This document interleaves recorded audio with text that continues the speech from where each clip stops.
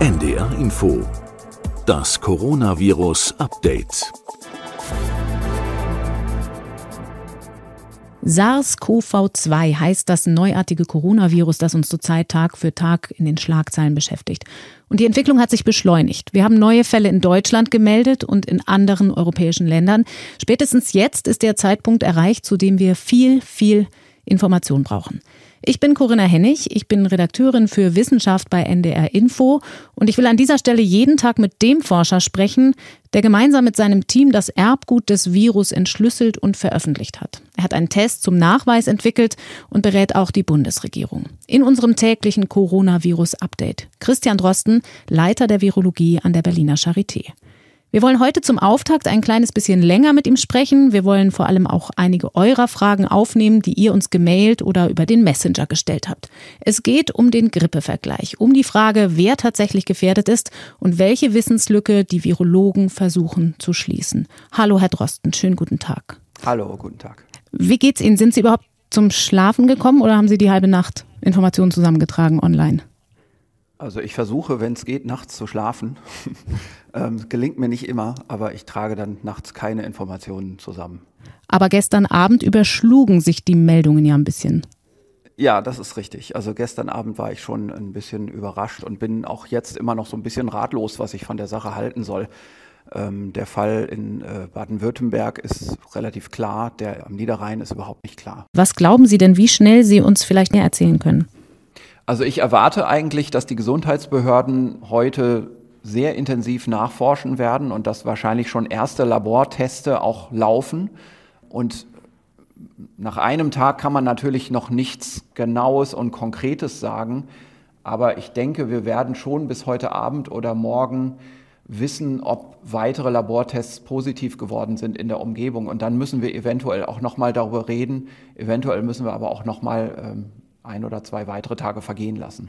Wir müssen kurz erklären, wir sitzen einander jetzt nicht gegenüber, sondern ich bin beim NDR in Hamburg und wir haben Christian Drosten zugeschaltet aus dem Institut an der Berliner Charité, wo er seit Wochen ganz dringend gebraucht wird. Und wir haben uns jetzt aber zu einem täglichen Update von dort aus der Virologie verabredet.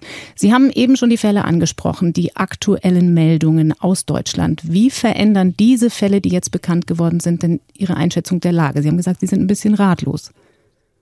Na, die Einschätzung der Lage hat sich für mich schon so am Wochenende geändert, als äh, die, das italienische Cluster ähm, bekannt wurde. Und ich muss auch sagen, das hat mich gar nicht so beunruhigt. Also wir sehen natürlich, dass von diesem italienischen Cluster aus jetzt viel verschleppt wird innerhalb von Europa. Mhm. Wir haben aber in Europa relativ belastbare Strukturen, relativ. Ähm, was mich vor allem beunruhigt, ist der Iran. Ähm, das ist eine ganz undurchsichtige Situation. Ähm, die haben für die Zahl der erkannten Fälle viel zu viele Todesfälle ähm, und viel zu viel. Äh, das bedeutet eben, man muss da immer Zähler und Nenner rechnen und es wird eben mit, nach aller Erwartung so sein, dass eine unglaublich große Zahl von unerkannten Fällen im Iran vorhanden ist. Ich würde mich nicht wundern, wenn diese Zahl jetzt schon zwischen 5.000 und 10.000 oder sogar noch etwas höher läge. Gibt es da auch ein Informationsproblem? Das war ja auch immer im Zusammenhang mit China thematisiert worden, dass es hieß, wir wissen gar nicht, ob wir alles wissen, was wir wissen müssten. Ja, China ist ja noch ein ganz anderes Problem. Ähm, also in, im Iran kann man sich vorstellen, äh, wo die Probleme eigentlich liegen. Ähm, denn wir sind, weil wir ja eigentlich weltweit die Diagnostikmethoden verteilen, auch mit Kollegen im Iran in Kontakt. Und ich merke immer an der Art der Fragen, die so gestellt werden, ähm, wie gut die sich technisch auskennen. Und das ist natürlich im Iran so wie in vielen anderen Ländern äh, in dieser Region, dass es zwar Labore gibt, die sind dann so so die top-nationalen Labore, die das können, aber dann gibt es viele andere Labore, die einfach keinen guten Ausbildungsstand haben. Ähm, also die Situation sicherlich im Iran und äh, in China, ähm, von da kriegen wir keine Fragen. Ähm, China ist da ein geschlossenes System. Ähm, in China gibt es natürlich eigens entwickelte Testsysteme, ähm, die werden zentral verteilt, äh, aber wie gut die verfügbar sind, äh, wie gut die funktionieren und so weiter, Dazu kann ich eigentlich relativ wenig sagen. Wie geht das eigentlich vor sich? Telefonieren Sie da auch mit den Kollegen oder kommunizieren Sie per E-Mail? Also das meiste in Kommunikation läuft natürlich per E-Mail. Ähm, man kriegt aber immer auch mal einen Anruf, ähm, ganz unvorhergesehen. Man wundert sich auch, wer so alles äh, die Handynummer hat. Ähm, gestern zum Beispiel saß ich in der Sitzung und bekam auf einmal einen Anruf äh, aus dem Iran von einer Laborleiterin, die ganz konkrete technische Fragen hatte zu bestimmten Testen, die sie von uns bekommen hat, ohne dass wir das wussten. Wir verteilen die ähm, fast automatisch, kann man inzwischen sagen. Ähm, und wir wissen gar nicht, nicht genau, wer alles mit unseren Testen arbeitet weltweit. Ähm, wir sehen das eher so im Nein. Sie haben jetzt aber gesagt, Italien relativ bekannte Strukturen. Hat man da die Infektionsketten nachvollziehen können? Zum Teil hat man natürlich jetzt äh, nachvollzogen, wer sich an wem infiziert hat. Ähm, man hat ja vor allem auch Zeit gewonnen durch diese Abriegelungsmaßnahmen, die da ja, fast so in einer Nacht- und Nebelaktion verhängt sind. Also ich glaube, das hat da auch ein bisschen mitgespielt, dass die Behörden dort plötzlich vor einer Situation standen und irgendwas machen mussten. Ähm, und die haben mit dieser Abregelung natürlich jetzt sehr viel Angst in der Bevölkerung geschürt und auch die Kooperation von Teilen der Bevölkerung in Gefahr gebracht. Das ist etwas ganz Schlechtes. Also man muss natürlich aufpassen, dass man nicht die Bevölkerung verliert dabei. Aber ich glaube, es ist in dem Moment so die Maßgabe gewesen, wir müssen uns erstmal einen Überblick verschaffen. Ähm, und ich gehe weiterhin fest davon aus, dass dann diese Maßnahmen relativ bald jetzt auch zurückgefahren werden. Aus Verbrauchersicht sind ja diese Fälle in Deutschland aber nun vermutlich das, was die meisten Leute bewegt und verunsichert. Uns haben da auch viele Fragen zu erreicht. Sie sagen, selbst der eine Fall am Niederrhein, der ist komplett unklar. Das war kein älterer Mensch, wie wir sie ja sonst als Risikogruppe für schwere Verläufe kennen. Ja, da habe ich äh, dann zum Teil auch nur die Informationen aus den Medien. Ähm, also es wird ja gesagt, es ist ein Patient äh, so Ende der 40er Jahre, der aber auch eine Grunderkrankung offenbar hat, sagt die DPA. Ähm, das kann ich mir alles gut vorstellen. Ähm, und man muss auch dazu sagen, ich kann mir auch vorstellen, dass junge Leute in diesem Alter ohne Grunderkrankung innerhalb von ganz kurzer Zeit schwer krank sind und auf der Intensivstation liegen wegen einer Infektion mit diesem Virus. Also es ist durchaus nicht so, wenn man sagt, ähm, das betrifft in allererster Linie ältere Patienten über 70 mit schweren Erkrankungen, dass das heißt, dass jüngere Patienten nicht krank werden können. Das ist äh, bei der Virusgrippe so der Fall. Ähm, das war selbst bei der relativ milden Schweinegrippe 2009 der Fall. Das ist aber auch bei vielen anderen Erkältungsviren der Fall, ähm, dass wir Patienten sehen, die jung sind und ansonsten gesund und plötzlich schwer erkranken und wir wissen nicht genau, warum das so ist. Da können Zufälle dabei sein, ähm, da kann Genetik dabei sein, ist allerdings sehr schwer, irgendwelche genetischen Einflüsse nachzuweisen in Studien. Also ich denke, das ist häufig auch eine Frage von ja, einer Infektionsgeschichte, die jemand gehabt hat. Ähm, vielleicht eine Frage, ob jemand raucht. Ne? Das äh, wird im Moment immer gar nicht mhm. diskutiert. Ich halte das aber für einen wichtigen Faktor, ähm, weil ja wir auch wissen, in China rauchen vor allem die Männer. Und wir sehen in China anhand der Daten, dass das männliche Geschlecht überbetont ist bei den schweren Erkrankungen. Und da muss man schon irgendwann auch mal eins und eins zusammenzählen. Heißt das denn auch, dass zum Beispiel eine allgemeine Infektanfälligkeit, das war auch die Frage einer Hörerin von uns, die sagt, ich habe viele Infekte und meine kleinen Kinder kriegen auch viele Infekte. Äh, kann das ein Risiko sein, wenn man denn in Ansteckungsgefahr ist? Es ist so, dass wir eigentlich kaum überhaupt ein wissenschaftliches Korrelat dazu haben, dass jemand sagt, er hat eine allgemeine Infektanfälligkeit. Mhm. Ähm, es gibt natürlich schwere Immundefizienzsyndrome, die sind aber absolut selten und das ist hier in der Regel nicht gemeint, wenn jemand sagt, ich kriege immer schnell mal eine Erkältung. Es gibt diese Wahrnehmung äh, von manchen Leuten, die, die denken, ich werde mehr krank als andere. Ähm, diese ähm, Hörerin hat vielleicht schon eine Teilerklärung mitgeliefert. Sie hat ein kleines Kind ähm, und die kleinen Kinder sind, äh, wie wir sagen, die Amplifikatoren von Erkältungsviren in der Bevölkerung. Das heißt, die, die immer laufende Nase, die aus der Kita mitgebracht wird, die ist voller Viren. Ähm, wenn wir im Labor Kinder auf Erkältungsviren testen und Erwachsene auf Erkältungsviren testen und wir finden das gleiche Virus bei einem Kind und bei einem Erwachsenen, dann wundern wir uns nicht darüber, dass Kinder 10.000 Mal mehr Virus in der Nase haben als der Erwachsene mit demselben Virus. Also es ist wirklich so ein großer Unterschied. Die Viruskonzentration, ähm, die ist bei einem Erwachsenen dann vielleicht im Bereich von ähm, ja, sagen wir mal 1000 Kopien im Milliliter und die ist beim Kind dann plötzlich über eine Million oder 10, 10 Millionen Kopien im Milliliter Nasensekret. Ähm, und das macht natürlich Infektiosität aus. Nun habe ich aber gelernt, nach allem, was man weiß, SARS-CoV-2, wie das neue Virus ja heißt, trifft eher nicht so stark Kinder. Richtig? Ja, das ist vollkommen richtig. Also Kinder scheinen klinisch von dieser Erkrankung nicht stark betroffen zu sein. Das heißt aber nicht, dass sie nicht infiziert werden können. Ähm, und das heißt auch nicht, dass sie nicht andere infizieren können. Ähm, wir haben dazu genau genommen eigentlich noch gar keine Daten. Wir wissen gar nicht genau, ob Kinder effiziente Amplifikatoren für dieses spezielle Virus. Sie müssen sich das so vorstellen, ähm, bei einem Erkältungsvirus, das landläufig verbreitet ist, sind alle Erwachsenen schon mal infiziert worden im Laufe des Lebens und sind zumindest teilweise immun. Und darum scheiden sie deutlich weniger Virus aus, denn das Virus wird in der Vermehrung gestoppt und eingedämmt im Körper des Erwachsenen. Das Kind hat keine Immunität. Das ist also für die meisten Erkältungskrankheiten, wie wir sagen, immunologisch naiv.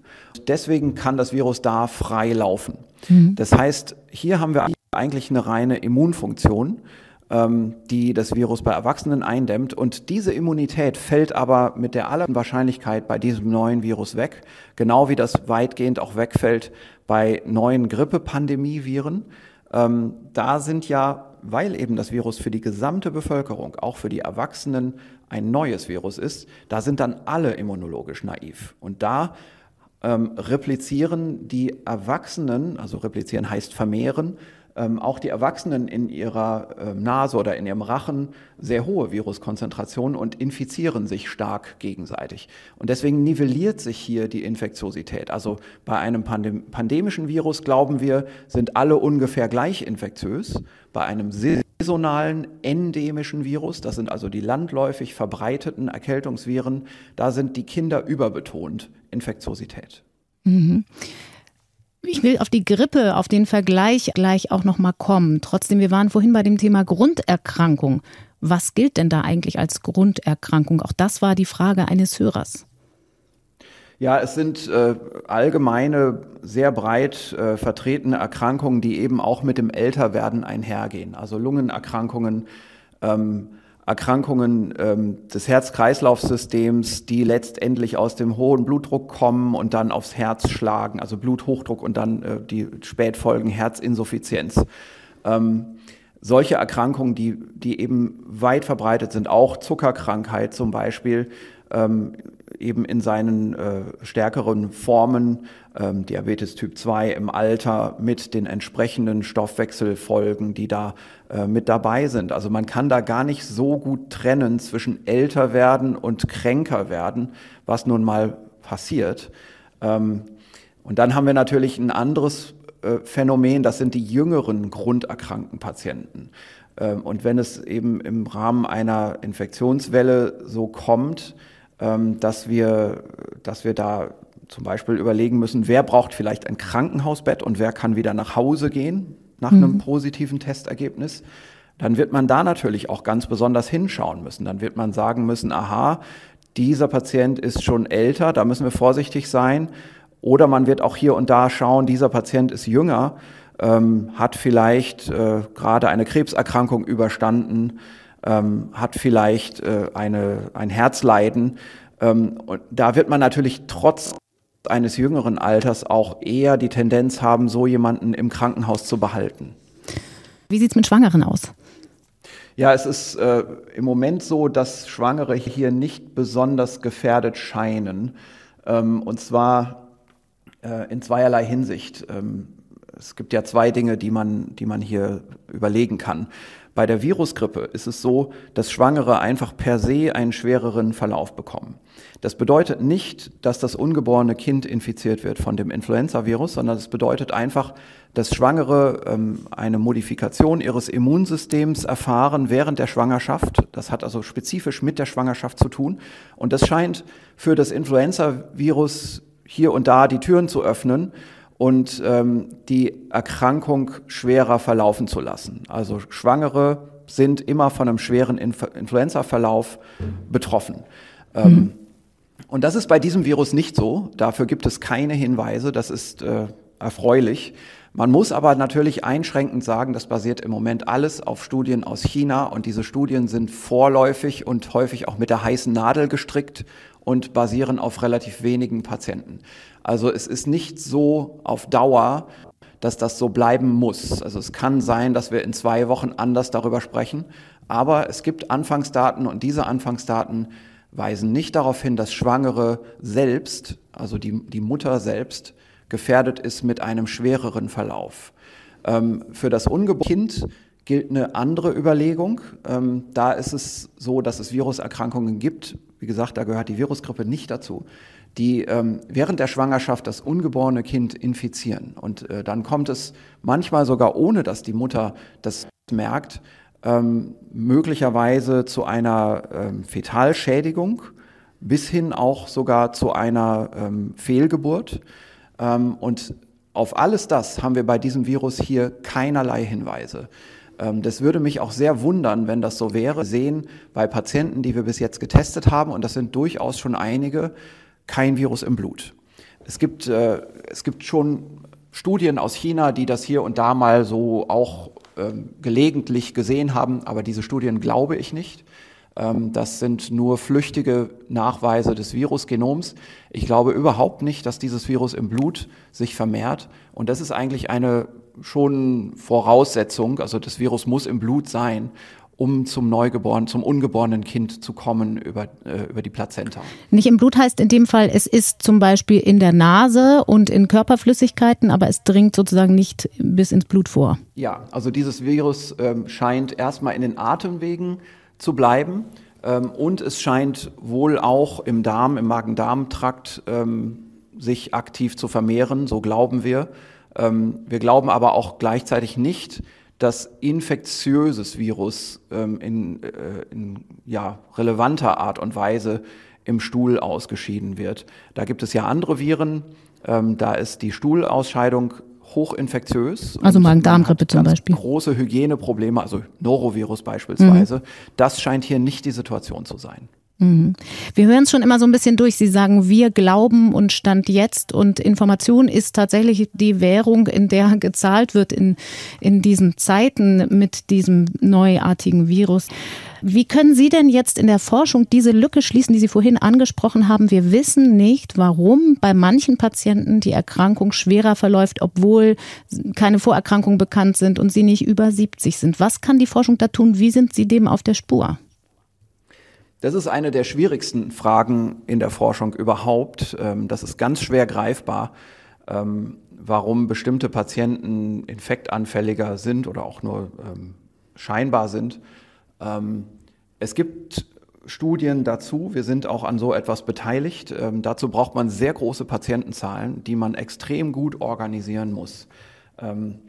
Es läuft jetzt ein europäisches Projekt an, ein Vorprojekt dafür, dafür ist schon äh, unterwegs, da sind wir schon beteiligt und wir haben jetzt äh, eine äh, ja, ähm, Spezifizierung dieses Projektes nochmal äh, geplant und auch dafür äh, Forschungsgeld beantragt, um große Patientenzahlen zu registrieren und die dann auch genetisch zu testen, nicht nur auf das Virus zu testen, sondern auch auf ihre Gene. Ähm, und da kann ich aber leider auch immer noch nicht garantieren, dass dann was dabei rauskommen wird. Denn die Menschen sind zu verschieden und bei den normalen Erkältungskrankheiten ähm, kriegt man eigentlich nicht genügend große und gut standardisierte Patientenkohorten zusammen. Das mag jetzt bei diesem Virus anders sein, weil eben eine ähm, Infektionswelle kommt. Und hier ist die Frage, sind wir rechtzeitig in der Lage, diese Patienten so zu testen, wie wir das brauchen, oder kommt die Infektionswelle vorher und wir haben es verpasst. Das kann ich also im Moment nicht garantieren. Da wir ja jetzt diese Fälle in Deutschland haben, diese neuen Fälle, die nicht zu einem Cluster gehören, offensichtlich beide, also zu einem Infektionsherd, wie das in Starnberg bei dem Autozulieferer Anfang des Jahres war. Sprechen Sie jetzt schon von Pandemie? Hm, also das sind relativ ähm, unverbundene Überlegungen. Also man kann sich zu dieser, ähm, zu diesem Cluster in München klar machen, das war ja eine Geschäftsreisende aus China, die kam für ein paar Tage, um so eine Art Fortbildung zu halten über ähm, irgendwas im Bereich äh, von Betriebswirtschaft, mit, wo ich mich überhaupt nicht auskenne. Ähm, und ähm, die ist dann wieder zurückgeflogen und wurde praktisch auf dem Heimweg richtig krank. Die war damals in München auch schon so ein bisschen krank und hat Paracetamol genommen, um das zu unterdrücken und hat gedacht, naja, ist wahrscheinlich nur Jetlag. Und dann wurde die richtig krank ähm, und hat dann aber in München angerufen und gesagt, ich bin positiv getestet worden hier in China auf das Virus und ihr müsst aufpassen. Und nur dadurch hat dann ähm, der äh, letztendlich der Leiter dieser Firma ähm, seine ähm, seine Mitarbeiter kontaktiert und gesagt, Vorsicht, hat Symptome und da war gleich einer dabei, der Symptome hatte. Ähm, und so ging das dann los. Dann wurde gleich das Gesundheitsamt involviert und man konnte dann, man hatte dann nur eine ganz kurze Zeit, rückblickend nur ein paar Tage, wo man sagen musste, da können sich Leute infiziert haben, da wussten wir das noch nicht, jetzt können wir zurückfragen. In Italien ist das anders gewesen. Da ist das also nicht passiert. Ähm, und da weiß man bis heute eigentlich gar nicht genau, ob es nur eine oder mehrere Einschleppungen waren, die man da verpasst hat. Und man weiß auch gar nicht genau, wie lange man zurückblicken muss, um an den Grund des Problems zu kommen. Und man kann das jetzt auch nicht mehr. Ähm, diese Zeit lässt sich nicht mehr aufholen.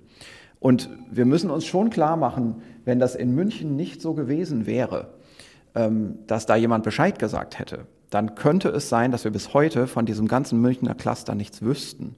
Oder dass ähm, irgendwo im Weil die Verläufe Bereich leicht waren. von München und Umgebung irgendwann ein schwerer Fall auftauchen würde und Alleine dadurch würden wir dann darauf kommen. So ist es ja in Italien passiert. Mhm. Nun haben wir diese neuen Fälle und wir wissen, die Deutschen reisen gerne nach Italien und Spanien. In Norddeutschland zum Beispiel, in Hamburg gibt es demnächst Schulferien. Müssen sich die Menschen denn hier jetzt auf was Besonderes einstellen? Ich glaube, die Sorge ist relativ groß, weil man eben sagt, Italien ist nicht der Iran, ist nicht China. Ja, also es ist eine ganz schwierige Situation im Moment für Behörden, hier offizielle ähm, Warnungen herauszugeben, weil sich ja wirklich von Tag zu Tag die Situation ändert. Und äh, zu dieser Unsicherheit gehört natürlich auch dazu, dass wir wirklich von heute auf morgen auch feststellen könnten, dass wir anderswo in Deutschland als in München ein ähnliches Problem haben wie die Italiener und wir haben das nur nicht gemerkt. Und plötzlich finden wir am ersten Tag 20 und dann 100 Fälle. Ähm, so etwas kann ich in Deutschland überhaupt nicht ausschließen. Ähm, und darum ist ein Prozess, jetzt zu überlegen, brauchen wir eine Reisewarnung in ein Nachbarland, fast schon müßig für eine Behörde. Ähm, und wir sprechen da ja dann vom Auswärtigen Amt. Das heißt, es sollte eine Reisewarnung geben, meinen Sie? Nein, also ich, ich sage nicht, äh, dass wir da eine Reisewarnung brauchen. Es ist eher eine Überlegung, die jetzt zu dem zurückkommt, was Sie in der Frage vorher eigentlich auch mit angeschnitten haben, nämlich die Frage, haben wir jetzt eigentlich eine Pandemie? Mhm. Ähm, und ich denke, ja, wir haben nie. Ähm, man muss die WHO auch verstehen als UN-Organisation auf einem diplomatisch hochempfindlichen Parkett. Wenn ein äh, Dr. Tedros, der, der Chef der WHO, sagt, das Fenster schließt sich zunehmend und wir müssen uns einstellen auf eine Pandemie, da muss man sich natürlich klar machen, eine Pandemie ist erstmal eine Definitionsfrage. Und wenn man das strikt nach Definition betrachten will, jetzt ist auch noch ein Fall in Brasilien aufgetreten und der hatte immerhin eine Reisegeschichte. Aber ähm, ich denke, es wird auch noch in nächster Zeit äh, auch in Südamerika zu Clustern kommen. Ähm, dann allerspätestens haben wir eine Pandemie. Und natürlich, wenn jetzt Afrika dazu käme, ähm, dann hätten wir natürlich in jedem Fall eine Pandemie. Und die Frage ist natürlich, hat man denn in Afrika überhaupt die Möglichkeit, das nachzuweisen? Und die Antwort ist ganz klar, nein. Also es wird äh, natürlich im Moment viel gesagt, äh, wie bemüht alle sind, äh, den Afrikanern zu helfen. Und ich kann Ihnen auch sagen, wir haben von hier ähm, viele afrikanische Labore schon mit Reagenzien versorgt. Aber ich glaube nicht, dass die das deswegen alle jetzt schon können, erstens. Und zweitens, ist es ja nicht so, dass die Fälle in der Hauptstadt auftreten, gleich neben dem zentralen Labor, neben dem einen, das es gibt im Land, hm. ähm, und dann auch gleich gemeldet und bemerkt werden. Denn das sind ja in allererster Linie milde Krankheitsverläufe. Und dann ist es ja in afrikanischen Ländern so, ein Erwachsener mit Fieber hat vor allem erstmal Malaria. Ähm, da denkt keiner an so eine Erkrankung. Mhm. Und Lungenentzündungen durch Influenzavirus kommen auch in Afrika vor und werden dort nicht diagnostiziert. Wir können fast davon ausgehen, dass es schon längst Fälle und Fallhäufungen in Afrika gibt, die aber nicht erkannt werden. Ähm, und deswegen mit all dem Wissen und dann noch mit dem Wissen um den Iran, wo also jetzt das Virus eindeutig in die arabische Welt hineingetragen wird. Wir haben schon Weiterverschleppungen in mehrere arabische Länder und wir wissen, wie konnektiv die arabische Welt mit Afrika ist. Natürlich haben wir eine Pandemie. Und unter diesem Eindruck jetzt noch zu sagen, soll sich Deutschland vielleicht von Holland abschotten oder Italien von Österreich, das ist fast schon eine müßige Überlegung. Wir müssen jetzt aufhören, den Blick nach außen zu kehren und letztendlich mit dem Finger auf Nachbarländer zu zeigen und sagen, die haben es verbockt oder da ist das Missgeschick passiert. Das ist vollkommen müßig. Niemand ist an irgendetwas schuld angesichts einer Pandemie. Das ist eine Naturkatastrophe, die in Zeitlupe stattfindet. Und wir können alle nur versuchen, unseren Beitrag zu leisten. Ich höre, Herr Drosten, äh, so ein bisschen raus, dass Ihre Sorge eigentlich mehr tatsächlich auch auf dieser internationalen Ebene nach wie vor spielt. Der Grad zwischen Hysterie und sinnvoller Vorsorge, nochmal konkret beim Verbraucher, ist ja aber trotzdem ein ganz schmaler. Wir diskutieren das hier in der Redaktion auch wieder jeden Morgen aufs Neue. Gerade heute hat mir jemand von Hamsterkäufen erzählt, auch hier in Deutschland, wie wir sie aus Italien auch gehört haben. Ist es sinnvoll, sich zu bevorraten, dass hier Schulen und Kitas geschlossen werden? Wie beurteilen Sie das? Nein, das ist nicht sinnvoll. Also es ist äh, in der jetzigen Anfangsphase natürlich total zu unterstützen, ähm, die Verbreitung zu verhindern, also zu ver verlangsamen, muss man sagen. Also ein Virus wird äh, eingetragen, es sind die ersten 20 Fälle in einer Stadt und äh, jetzt möchte man, dass das nicht innerhalb von einem Monat komplett ähm, über die Bevölkerung herfällt, das Ganze. Da kann man natürlich dann versuchen, durch solche Maßnahmen an den Orten, wo Viren sich nun mal verbreiten, und dazu gehören Schulen, Sportveranstaltungen, Kitas, ähm, durch kurzzeitige, aber auch richtig kommunizierte Maßnahmen ähm, so eine Verbreitung deutlich in die Länge zu ziehen, wenn man im Keim des Geschehens das Ganze verlangsamt. Ersticken kann man es nicht, aber man kann es deutlich verlangsamen. Und das kann man später nicht mehr. Dazu haben wir jetzt die Gelegenheit. Und wir haben jetzt die Gelegenheit, durch solche Maßnahmen, die Gesundheitsämter dann jeweils verhängen müssen, ähm, beispielsweise mehrere Wochen Zeit zu gewinnen bei so einer Virusverbreitung und damit in die Sommermonate zu kommen. Das ist ganz wichtig, ähm, denn wir können schon ähm, annehmen, dass dieses Virus wie viele andere physikalisch ähnlich aufgebaute Viren, also behüllte RNA-Viren, die labil sind gegen UV-Strahlung, gegen Trockenheit, ähm, dass wir da in den Sommermonaten eine ganz natürliche Verlangsamung der Verbreitung bekommen. Wenn wir es jetzt schaffen, das Geschehen, sagen wir mal, bis ins Frühjahr, ins spätere Frühjahr zu verschieben. Und dazu sind solche Maßnahmen sehr gut geeignet, dass man sagt, jetzt werden hier am Ort, weil wir konkret hier am Ort Fälle haben, mal für ein paar Tage die Grundschulen geschlossen und dann schauen wir mal weiter, ob wir das noch verlängern wollen. Ähm, solche Maßnahmen kann ich im Moment gut nachvollziehen. Aber ganz allgemein gesprochen kann man die in einer Pandemie nicht lange durchhalten und sollte man auch nicht, weil das die Gesellschaft überstrapaziert und auch eine falsche Wahrnehmung generiert über die Gefährlichkeit für den Einzelnen. Es ist hier einfach immer zu unterscheiden. Gefährlichkeit für die Gesellschaft, für das Medizinsystem, auch für die Wirtschaft übrigens, hm. ähm, versus Gefährlichkeit für den Einzelnen.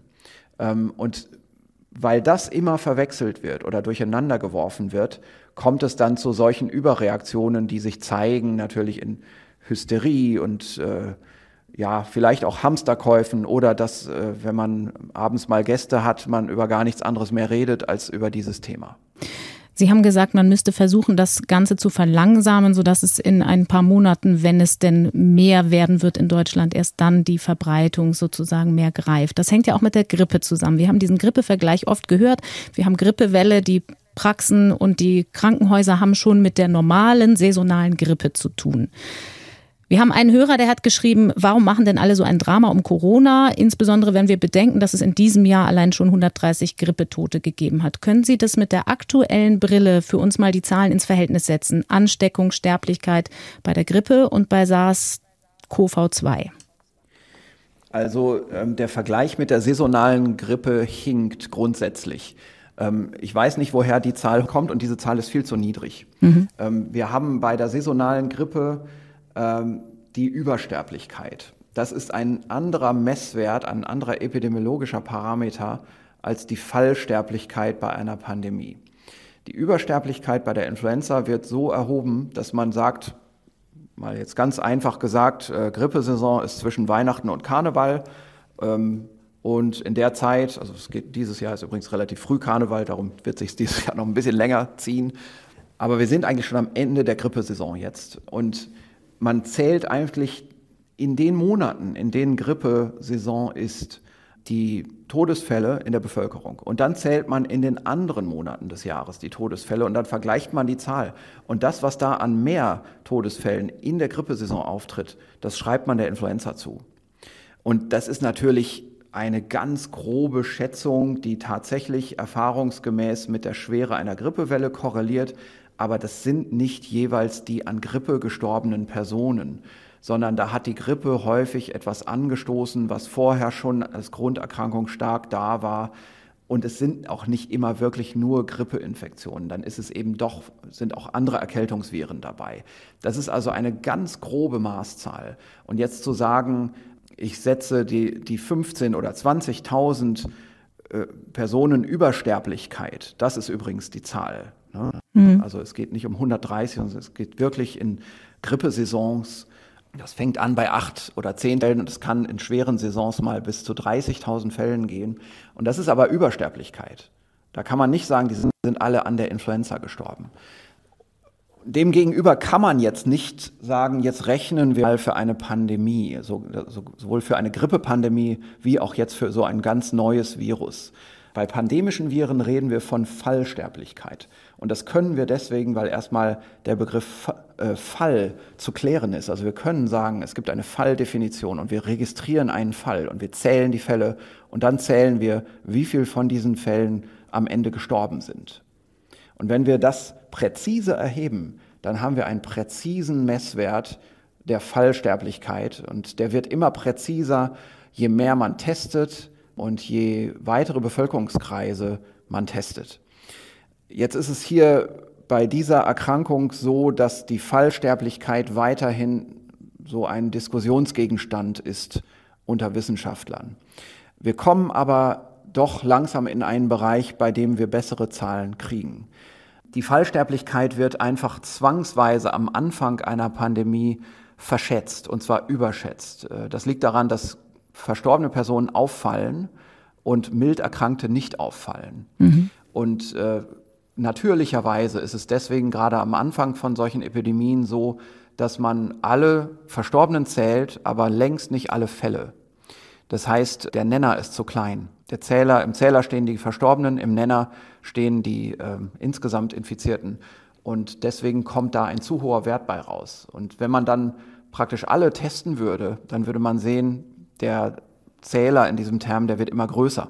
Äh, vielleicht gut sich vorzustellen in Wuhan. Da ähm, war es so, ähm, als es losging, dass natürlich erstmal nur die Todesfälle aufgefallen sind. Da hätte man also praktisch eine vollkommene Fallsterblichkeit. Jeder, der infiziert ist, stirbt. Dann hat man gemerkt, aha, sind auch milde Fälle. Mhm. Dann hat man eine Situation gehabt, dass das System ziemlich überfordert ist und Patienten nur dann zur Testung und ins Krankenhaus gegangen sind, wenn sie wirklich schwer krank waren. Und wer schon schwer krank ist, hat natürlich ein höheres Risiko, dann auch zu sterben. Darum sah es am Anfang so aus, als wären es 10 Prozent und dann nach einer kurzen Zeit waren es so um die 2, 3 Prozent in Wuhan. Ähm, jetzt sagt die WHO, außerhalb von Wuhan in China liegt es so irgendwo bei 0,7 Prozent, weil da schon ähm, sich das Ganze mehr verteilt und man Fälle aktiver suchen muss, um sie, äh, um sie dann zu erkennen. Und längst nicht jeder von denen ist ein schwerer Fall. Und wenn wir dann aufzeichnen, was außerhalb von China passiert, also dort die Fälle zusammenrechnen, ähm, wo man ja weiß, das sind immer Verschleppungen, die immer ernst genommen werden und verfolgt werden von den jeweiligen Gesundheitsbehörden. Und da haben wir ja zum Teil eben sehr gute Medizinsysteme wie Singapur, auch Südkorea, USA und Europa, wo wir dann wirklich zählen können. Dann kommen wir auf Werte, also wo wirklich die, die Fälle alle verfolgt werden und erkannt werden, dann kommen wir auf Werte im Bereich von 0,1 bis 0,5 Prozent. Ich will jetzt mal sagen, wir können so von etwas unter einem halben Prozent Fallsterblichkeit ausgehen. Das ist dann aber wirklich irgendwann auch ein Multiplikator, den man anwenden kann. Also dann könnte man fragen, okay, wenn wir jetzt diesen Wert haben, was hieße das denn dann für Deutschland? Was hieße das für meine Stadt? Und dann kann man anfangen zu rechnen. Und dann, äh, wenn man dann anfängt zu rechnen, dann errechnet man sich erstmal ganz erschreckende Zahlen. Die will ich jetzt nicht hier nennen, mhm. denn die sind falsch. Es wird dann wieder noch komplizierter. Vielleicht müssen wir da morgen oder übermorgen mal drüber reden. Aber es ist so, dass eben nicht jeder in der Bevölkerung infiziert wird. Da gibt es noch andere epidemiologische Termini und Parameter dafür, mit, mit denen man auch abschätzen kann, wie viele infiziert werden und wie schnell sich das Ganze verbreitet. Denn auch die Verbreitungsgeschwindigkeit ist ganz erheblich wichtig. Wenn Sie sich vorstellen, ein Drittel der Bevölkerung wird infiziert, dann ist natürlich immer noch eine riesen Unterschiedlichkeit, ob die jetzt in diesem Monat infiziert werden alle oder ob sich das über zwei Jahre hinschleppt. Dann wollen wir über all das doch morgen reden, Herr Drosten, und Sie zwischendurch jetzt auch mal wieder Ihre eigentliche Arbeit machen lassen. Wir sind morgen wieder mit Ihnen verabredet zu unserem täglichen Coronavirus-Update. Wir haben gemerkt, es gibt noch viele Fragen zu klären. Ich sage für heute vielen Dank. Ja, gerne. Bis morgen. Christian Drosten, Leiter der Virologie an der Berliner Charité. Heute mit einer besonders ausführlichen Einstiegsfolge in unser tägliches Update. Wenn ihr auch eine Frage habt, dann schickt sie uns gern an meinefrage.ndr.de. Wir bemühen uns, so viele wie möglich davon ins Gespräch aufzunehmen. Diesen Podcast findet ihr ab sofort montags bis freitags, immer mittags unter ndr.de slash Corona-Update. Das Coronavirus-Update. Ein Podcast von NDR Info.